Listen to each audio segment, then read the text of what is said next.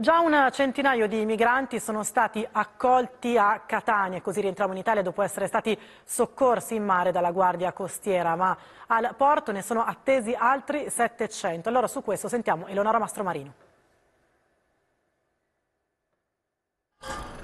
I volontari della protezione civile regionale sono al lavoro da ieri per montare due tendo strutture accanto all'ex hub vaccinale di Catania. La macchina dell'accoglienza si ingrandisce cercando di stare al passo con i numeri sempre crescenti dei migranti in arrivo.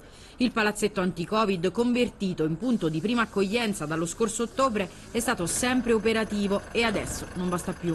Ormai lo sbarco qui non è un evento ma è un appuntamento fisso, da diversi mesi l'impegno della prefettura e tutta la macchina dell'accoglienza in prima linea ormai collaudata. All'interno ci sono 108 persone, 16 bambini, soccorsi dalla Guardia Costiera nello Ionio e arrivati la notte scorsa nel porto etneo. Subito dopo, nave Peluso è ripartita per raggiungere e scortare fino a Catania un peschereccio con altri circa 700 naufraghi a bordo.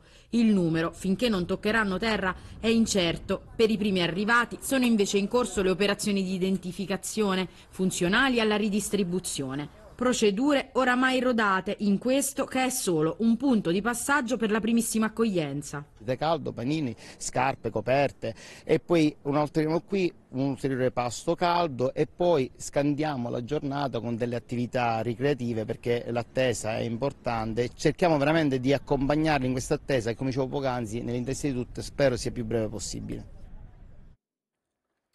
E ora una notizia di cronaca.